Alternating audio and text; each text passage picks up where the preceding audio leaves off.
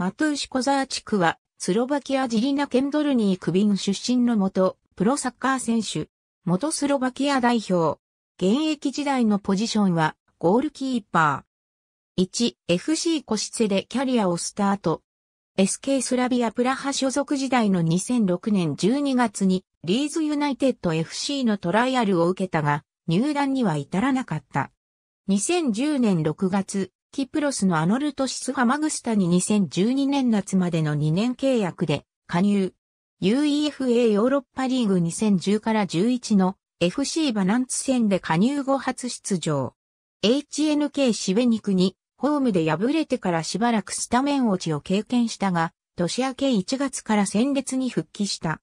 このシーズンも新加入のディミタール・イワイコフにポジションを明け渡した時期もあったが、最終的にレギュラーに返り咲いた。2012年6月、FC ビクトリアプルゼニに3年契約で加入。加入後すぐにレギュラーポジションを確保し、チームのリーグ制覇に大きく貢献した。2014年2月、クラブとの契約を2017年6月まで延長した。2006年12月10日のサッカーアラブ首長国連邦代表で A 代表初キャップ